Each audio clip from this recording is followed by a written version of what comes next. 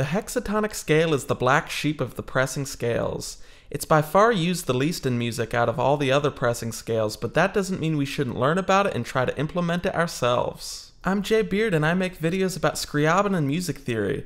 Check out my website to see the courses and lessons that I offer and please like, comment, and subscribe. In this third episode on the pressing scales, we're going to learn about the properties of the hexatonic scale, mostly using examples from Scriabin's 8th Sonata, and we'll learn about its subsets down to four note sets. Sometimes I'll show diagrams that show the relationship between a subset and the other pressing scales. For example, this diagram shows us that the 420 set is not only part of the hexatonic set, 620, but also lies within 732, the harmonic set, and 735, the diatonic set. This allows us to see if a set is exclusive to a particular superset or whether it's shared among several other supersets. The term cardinality simply refers to the number of notes in a set. The hexatonic scale and the whole tone scale both have a cardinality of 6 because they're made up of 6 pitches. Now let's get into all this at the whiteboard. While the whole tone scale covered last episode is made up of two augmented chords a whole step apart, we can think of the hexatonic scale as being made up of two augmented chords a half step apart from each other. It's often referred to as the augmented scale for this reason. Another way to think of its structure is as a repeating plus 3 plus 1 semitone structure. And it has another mode which is plus 1 plus 3 repeating.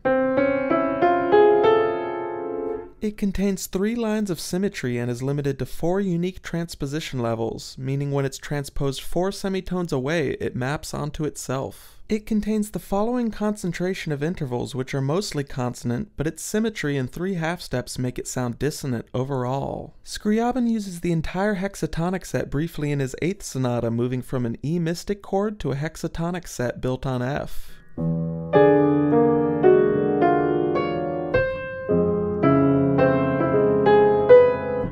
entire set is played by simply outlining an augmented chord with minor sixth leaps, with two voices a minor third apart from each other. It's such an effective use of the set because the minor sixth leaps come from the established theme 1 motif, and by doubling the motif a minor third away, we get the same expected motif reharmonized to a strange set that fits with the enigmatic sound of the rest of the piece. There's only one five note subset of the hexatonic scale, and that's 521. It contains the same saturation of intervals as the hexatonic set, but by removing one pitch, the symmetry is broken, which allows this set to be transposed uniquely to all 12 pitches. This is the set that Scriabin uses in theme 1 of Sonata 8.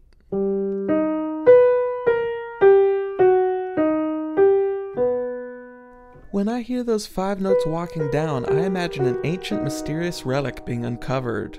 Here's one of my favorite uses of that part of the motif being used.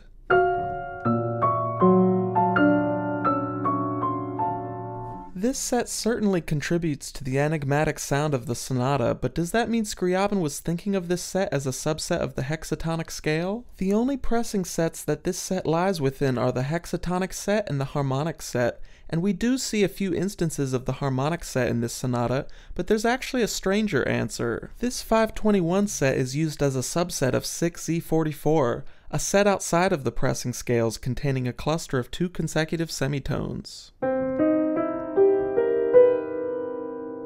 I explain this set in more depth in my video analyzing Scriabin's 8th Sonata. Here's a passage where the theme 1 motif is played while the overall harmony is set 6Z44.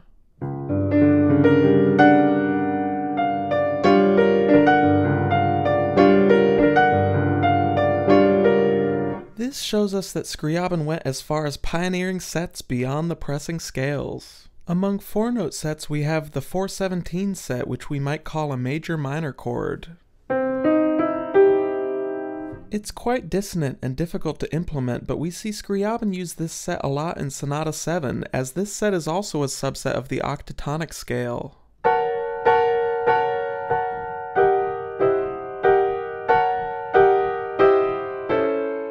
Next, we have 419, which is a really important chord to learn that's a subset of many pressing scales, but not the diatonic set. It's like an augmented chord with an added pitch a half step away from any of the other pitches. When a pitch is added to the right side of the augmented chord, it's 419A, which is commonly used as a minor major seventh chord. When a pitch is added to the left side, it's 419B, often used as an augmented major seventh chord. We can hear both of these inversion pairs used as passing chords in Scriabin 42.5.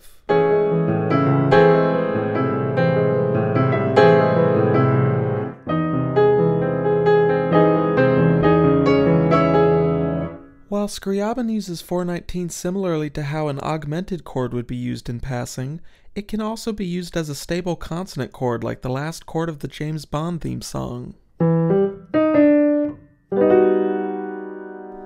The 420 set is the major 7th chord set. I don't think I need to show a musical example of it being used, but it's worth pointing out its interval content. I have a video on how the intervals that make up sets relates to how smooth chord changes sound at the transposition levels of those intervals, and since the major seventh chord contains no whole steps or tritones, there are no retained pitches at those transpositions, making it sound like an abrupt chord change. The two major thirds and two fourths present in the set lend themselves to smooth transpositions at those transposition levels, which is why it's common to hear major seventh chords transposed a fourth or major third away. The last set to mention is 4 7, which is like two major thirds a half step away. This is the most dissonant four note hexatonic subset containing the most half steps, and it doesn't sound consonant as a chord. It's used more as a melody, and we can think of it as the last four notes of the harmonic minor scale. Not every musical structure sounds agreeable, even within the pressing scales. In fact, the first three pressing scales we're covering lend themselves to dissonance because they're made of repeating patterns that create symmetry. In other words, a set like the diatonic set is made up of complex interval patterns where half steps are sprinkled throughout, creating a mixture of intervals, while the hexatonic is simply a repeating pattern of minor thirds and half steps. That sort of repetitive pattern creates a saturation of specific intervals and symmetry that ultimately sounds dissonant. Though the hexatonic scale hasn't been used much by composers already, I would challenge viewers to try to apply its unique dissonance. It could be used as a dissonant passing chords, or we could use the 521 set to capture most of its character but with a more consonant non-symmetrical structure.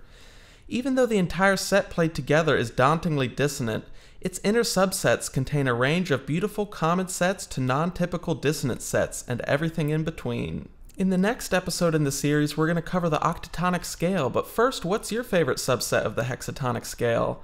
Let me know in the comments, check out my website, join the Discord, and please like, comment, and subscribe.